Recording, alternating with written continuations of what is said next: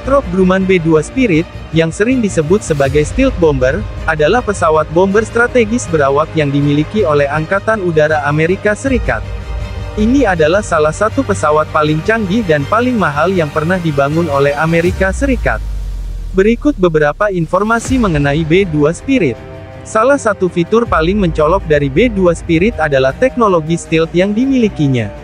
Pesawat ini dirancang untuk memiliki tanda radar yang sangat rendah, sehingga sulit terdeteksi oleh sistem pertahanan udara musuh. Desainnya yang aerodinamis dan material khusus membuatnya mampu menghindari sebagian besar radar musuh. B2 memiliki panjang sekitar 21 meter atau 69 kaki dan lebar sayap sekitar 52 meter atau 172 kaki. Meskipun besar, pesawat ini memiliki berat lepas landas maksimum sekitar 170 ton. Peran utama B-2 adalah membawa senjata nuklir strategis. Ini dapat membawa berbagai jenis bom nuklir, termasuk bom B-61 dan B-83. Selain itu, pesawat ini juga dapat membawa bom konvensional berpresisi untuk misi non-nuklir. B-2 memiliki jangkauan yang sangat luas, memungkinkannya untuk menjalankan misi global tanpa perlu mengisi bahan bakar ulang. Pesawat ini juga dapat mengoperasikan berbagai jenis misi, termasuk serangan strategis, pertahanan udara elektronik, dan pengintaian. Meskipun besar, B-2 Spirit memiliki awak yang relatif kecil, biasanya terdiri dari dua pilot. Ini adalah pesawat yang sangat terotomatisasi dan dilengkapi dengan sistem kontrol yang canggih. Pesawat ini diberi nama Spirit setelah pesawat roh Amerika yang terkenal, termasuk pesawat Spirit of St.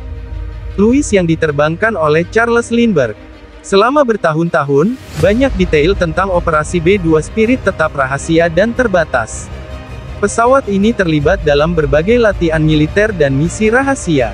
B-2 Spirit adalah salah satu pesawat paling mahal yang pernah dibangun, dengan biaya produksi yang mencapai miliaran dolar per unit. B-2 Spirit merupakan salah satu komponen utama dari triad nuklir Amerika Serikat, bersama dengan rudal balistik dan kapal selam berawak nuklir.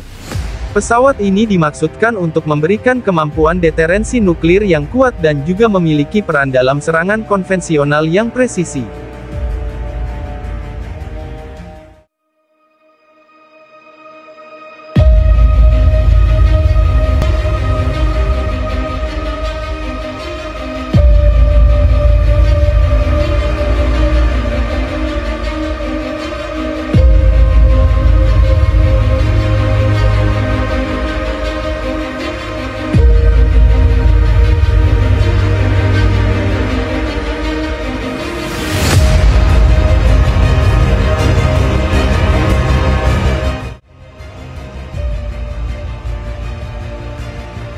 PADA adalah singkatan dari Perspektivní Aviacionni Kompleks Dalnej Aviasi, yang dalam bahasa Rusia berarti Sistem Penerbangan Jarak Jauh Masa Depan.